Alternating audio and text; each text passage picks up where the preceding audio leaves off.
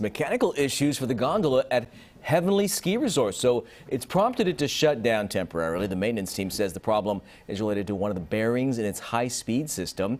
Uh, while they say at no time has the gondola been unsafe to operate, the maintenance team says it's best to replace these bearings before they become a more serious problem, and there's no word on when the gondola will reopen.